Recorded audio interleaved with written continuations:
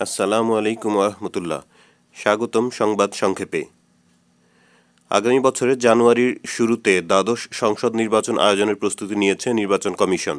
সে নির্বাচনে তিনশো আসনের অর্ধেকে ভোট গ্রহণ ইভিএমে করার পরিকল্পনা ইসির একশো পঞ্চাশ আসনে ইভিএমে ভোট করার লক্ষ্যে প্রায় দুই লাখ ইভিএম কেনা ও রক্ষণাবেক্ষণ সহ আনুষাঙ্গিক ব্যয়ের লক্ষ্যে আট হাজার কোটি টাকার প্রকল্প তৈরি করে গত উনিশ অক্টোবর পরিকল্পনা কমিশনে পাঠায় ইসি তবে পরিকল্পনা কমিশন কিছু পর্যবেক্ষণ দিয়ে সেই প্রস্তাব ফেরত পাঠিয়েছিল। পরে প্রস্তাব সংস্কার করে ফের পাঠানো হয় পরিকল্পনা কমিশনে। জানুয়ারির শুরুতে এই প্রকল্প সরকার পাশ না করলে দেড়শো আসনে যন্ত্রে ভোট গ্রহণ করা যাবে না বলে আগে বলেছিলেন সিইসি কাজী হাবিবুল আওয়াল রোববার তারই প্রতিধ্বনি তুললেন সহকর্মী রাশেদা।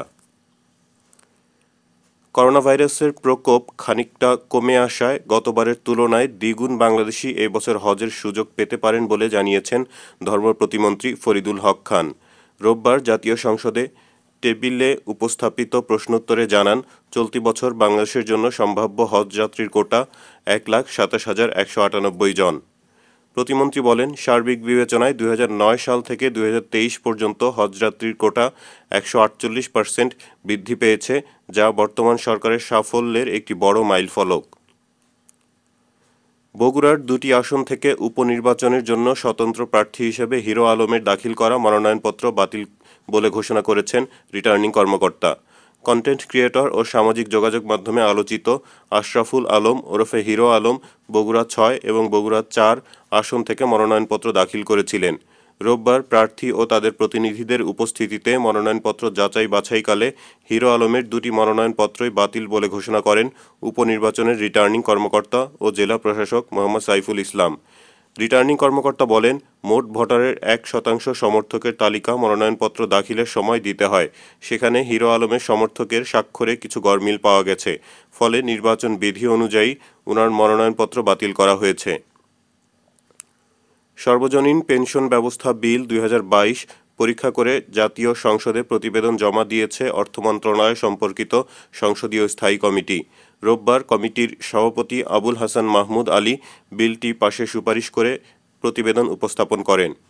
সরকারি চাকরিজীবীদের বাইরে দেশের সব নাগরিককে পেনশন ব্যবস্থার আওতায় আনতে এই আইনি কাঠামো তৈরি করছে সরকার। গত উনত্রিশ আগস্ট সর্বজনীন পেনশন ব্যবস্থা বিল দুই হাজার বাইশ জাতীয় সংসদে উত্থাপন করেন অর্থমন্ত্রী আহমা মুস্তফা কামাল। বিএনপির স্থায়ী কমিটির সদস্য ড. খন্দকার মোশাররফ হোসেন বলেছেন, শিগগিরই সরকার পতনের আন্দোলনের ডাক দেওয়া হবে। যেদিন ঢাকায় চলো ঢাকায় চলো ডাক আসবে, সেদিন আর কেউ ঘরে বসে থাকবেন না। সেদিনই আমরা সরকার পতনের পূর্ণাঙ্গ ডাক দেব, সেটা খুব শিগগিরই। তিনি বলেন, আমাদের নেতাকর্মীদের অনেকেরই ধারণা ছিল, দশ ডিসেম্বর ঢাকার সমাবেশ থেকে আমরা বড় ধরনের আন্দোলনের ঘোষণা করব। কিন্তু না ঢাকার সমাবেশ ছিল বিভাগীয় গণসমাবেশ। অন্যান্য জেলায় যেরকম গণসমাবেশ হয়েছে, ঢাকার গণসমাবেশেও একই। তবে আমরা আন্দোলনের দশ দফা ঘোষণা করেছি। এর মধ্যে আমাদের গণমিছিল গণ অবস্থান কর্মসূচি পালন করা হয়েছে। সারা দেশে মানুষ স্বতঃস্ফূর্তভাবে এসব কর্মসূচিতে অংশ নিয়েছে। এরপর আমরা গণ অভ্যুত্থানের ডাক দেব। সবাই এই কর্মসূচি পালন করবেন। তিন মাস আগে পুলিশ মহাপরিদর্শকের দায়িত্ব নেন চৌধুরী আবদুল্লাহ আল মামুন।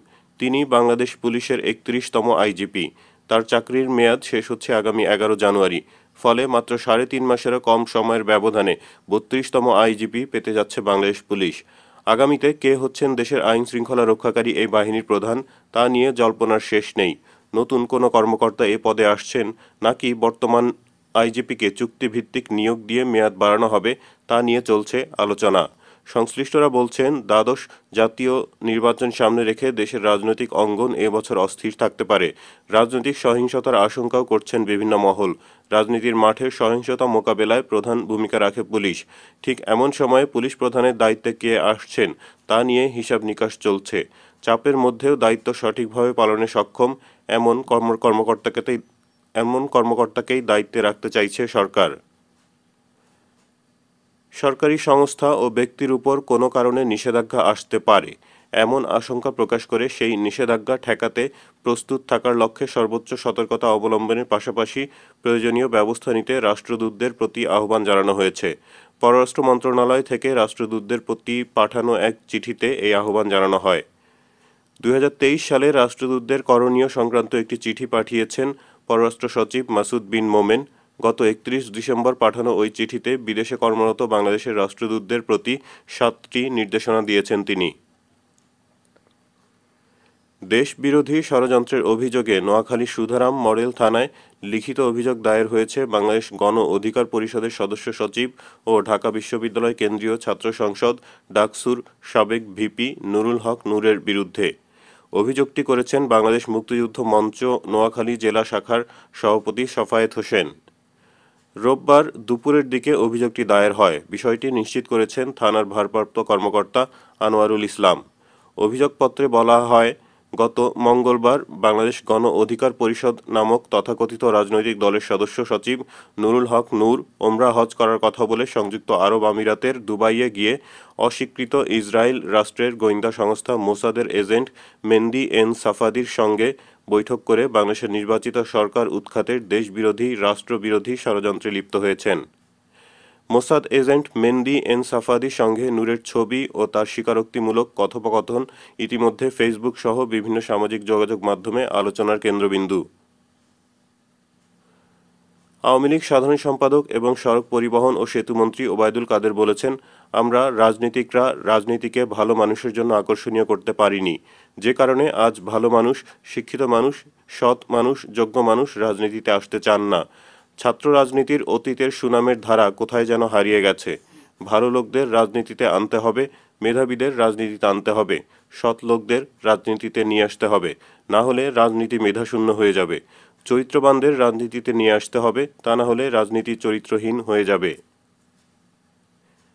বাংলাদেশ প্রকৌশল বিশ্ববিদ্যালয়ের শিক্ষার্থী ফারদিন নূর পরশের মৃত্যুতে করা মামলায় গ্রেফতার তার বান্ধবী আমাতুল্লাহ বুশরার জামিন আবেদন মঞ্জুর করেছেন আদালত। রোববার ঢাকার সপ্তম অতিরিক্ত মহানগর দায়রা জজ তেহসিন ইফতেখার তার আবেদনে সাড়া দেন। প্রায় দুই মাস তিনি কারাগারে রয়েছেন। এর আগে বৃহস্পতিবার ওই আদালতের কাছে বুশরার জামিন আবেদনের শুনানি করেন আইনজীবী। বিপরীতে রাষ্ট্রপক্ষ জামিনের বিরোধিতা করে। শুনানি শেষে বিচারক আদেশের জন্য রোববার দিন ধার্য করেন। বাংলাদেশের প্রতি যুক্তরাষ্ট্রের ক্ষমতাসীন বাইডেন প্রশাসনের আগ্রহ বাড়ছে।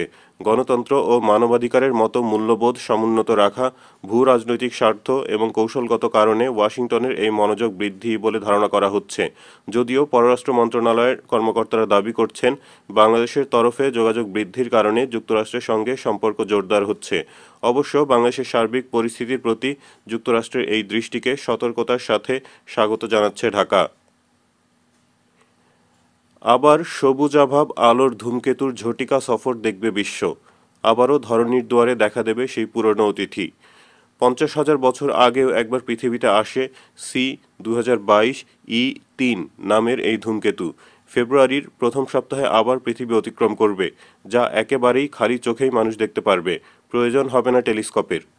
শনিবার যুক্তরাষ্ট্রভিত্তিক মহাকাশ বিষয়ক জরিপ সংস্থা জুইকি ট্রানজিয়েন্ট ফ্যাসিলিটি জ্যোতির্বিজ্ঞানীরা এই তথ্য নিশ্চিত করেছেন। গত বছর মার্চে ধূমকেতুটিকে বৃহস্পতি গ্রহ অতিক্রম করেছে।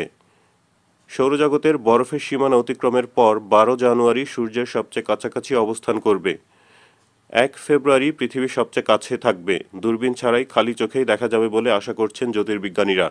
তবে চাঁদের আলো খুব বেশি থাকলে, অর্থাৎ পূর্ণিমা থাকলে, ধূমকেতুর স্পষ্টতা কমবে।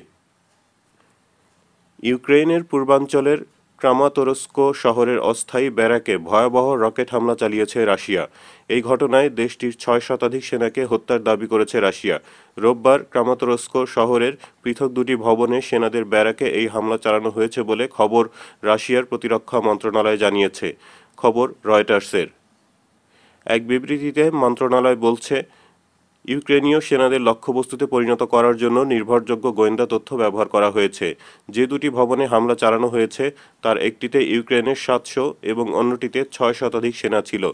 ইউক্রেনের সেনা ইউনিটগুলোর অস্থায়ী স্থাপনায় ব্যাপক ক্ষেপণাস্ত্র হামলার ফলে দেশটির ছয় শতাধিক সেনা ধ্বংস হয়েছে। রাশিয়ার এই দাবি যদি সত্যি হয়, তাহলে গত বছরের চোদ্দ, চব্বিশ ফেব্রুয়ারি মস্কোর আক্রমণ শুরুর পর একদিনে ইউক্রেনের সেনাদের সবচেয়ে বড় প্রাণহানির ঘটনা হবে এটি। এদিকে ছয়শো সৈন্য হত্যার যে দাবি রাশিয়া করেছে, তা প্রত্যাখ্যান করেছে ইউক্রেন। হামলার এই সৈন্যদের হত্যার দাবিকে অপপ্রচার বলে আখ্যা দিয়েছে দেশটি। তবে ইউক্রেনের সামরিক বাহিনী বলছে, এটি অসত্য। বিবিসিকে দেওয়া এক সাক্ষাৎকারে ইউক্রেনের সামরিক বাহিনীর মুখপাত্র সেরহি চেরেভাতি বলেন, এটি রাশিয়ার আরেকটি অপপ্রচার। কোভিড মহামারীর শুরু থেকে তিন বছর পর জিরো কোভিড নীতির সর্বশেষ বিধি ভ্রমণকারীদের জন্য কোয়ারেন্টিনের নিয়ম তুলে দিয়ে সীমান্ত খুলে দিয়েছে চীন। জিরো কোভিড নীতির কঠোর বিধিনিষেধের বেড়া বেড়াজালে চীনের মানুষ ভাইরাস সংক্রমণ থেকে সুরক্ষিত থাকলেও তারা বাদবাকি বিশ্ব থেকে বিচ্ছিন্ন হয়েছিল। রোববার হংকংয়ের সঙ্গে চীনের সীমান্ত খুলে দেওয়ায় স্থল ও সাগরপথে ভ্রমণকারীদের ঢল শুরু হয়েছে। হংকং থেকে অনেকেই চীনে যাচ্ছেন। দীর্ঘদিন পর পরিবার স্বজনদের সঙ্গে দেখা করতে উৎসুক হয়ে আছেন তারা। ইরানে দেশব্যাপী প্রতিবাদ ও বিক্ষোভের সময় সামরিক বাহিনীর এক সদস্যকে হত্যার অভিযোগে দুজন বিক্ষোভকারীর ফাঁসি কার্যকর করা হয়েছে। এরা হলেন মোহাম্মদ মাহদি কারামি এবং সৈয়দ মোহাম্মদ হোসেইনি। আধা সামরিক বাহিনীর একজন কর্মকর্তার হত্যাকাণ্ডের সাথে জড়িত থাকার কথিত অভিযোগে তারা দোষী সাব্যস্ত হয়েছেন। এই বিচার প্রক্রিয়াকে ছল হিসেবে উল্লেখ করে মানবাধিকার গ্রুপগুলো এর নিন্দা করেছে। নাটকীয় কিছু না হলে সিডনি টেস্টের শেষ দিনে প্রথম ইনিংসে দক্ষিণ আফ্রিকার লোয়ার অর্ডার আর দ্বিতীয় ইনিংসে টপ অর্ডার ব্যাটসম্যানদের দৃঢ়তা ব্যর্থ করে দিল অস্ট্রেলিয়ার প্রচেষ্টা। ড্র হলো সিরিজের শেষ টেস্ট, প্রোটিয়ারা এড়ালো হোয়াইট ওয়াশ। প্রথম চার দিনে বৃষ্টি আর আলোক স্বল্পতায় অনেকটা সময় ভেস্তে যাওয়া তৃতীয় টেস্টে জিততে পঞ্চম দিনে অস্ট্রেলিয়ার নিতে হতো চোদ্দ উইকেট। ছয় উইকেটের বেশি নিতে পারেনি স্বাগতিকরা।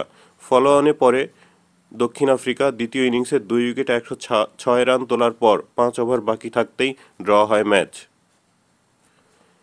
বিপিএল শুরুর আগেই আগুনে ঘি ঢেলেছিলেন বাংলাদেশ টি টোয়েন্টি ও টেস্ট দলের কাপ্তান সাকিব আল হাসান। তিনি দাবি করেছিলেন, সিইওর দায়িত্ব পেলে কয়েক বছর নয়, মাত্র এক দুই মাসেই নায়ক সিনেমার মতো তিনি সবকিছু বদলে দেবেন। আর অব্যবস্থাপনার বিপিএলকে তিনি বলেছিলেন, যা তা। সেই কথার পর বিপিএল গভর্নিং বডির সভাপতি শেখ সোহেল সাকিবকে সিইওর দায়িত্ব গ্রহণের আহ্বান জানান। এবার সাকিব এমন প্রশ্নের মুখোমুখি হয়ে জানালেন, তিনি সিইও নয়, হলে সভাপতিই হবেন। একদিন বিরতির পর বিপিএলে আজ দুটি খেলা অনুষ্ঠিত হবে। দুপুর দুইটায় শেরেবাংলা ক্রিকেট স্টেডিয়ামে কুমিল্লা ভিক্টোরিয়ান্সের মুখোমুখি হবে সিলেট স্ট্রাইকার্স আর সন্ধ্যা সাতটায় চট্টগ্রাম চ্যালেঞ্জার্স খেলবে খুলনা টাইগার্সের বিপক্ষে। সংবাদ সংক্ষেপ এখন এইটুকুই। যারা আমার চ্যানেলটি সাবস্ক্রাইব করেছেন, তাদেরকে অসংখ্য ধন্যবাদ। আর যারা এখনও করেননি, তারা অনুগ্রহ করে লাইক, শেয়ার ও সাবস্ক্রাইব করে আপনাদের মূল্যবান মতামত জানিয়ে দিন। ধন্যবাদ।